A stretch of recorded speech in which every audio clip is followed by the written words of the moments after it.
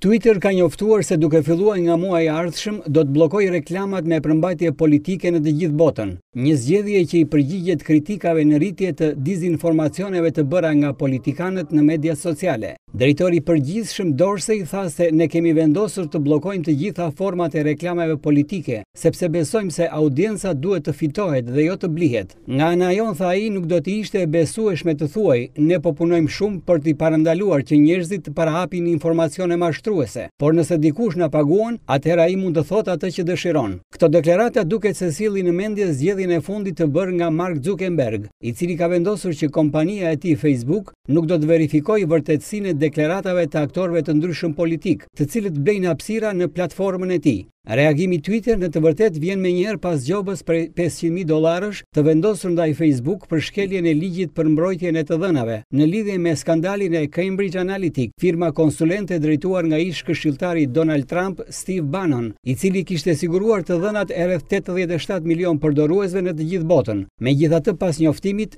Twitter humbi terren në Wall Street, duke zbritur me mbi dy përqind.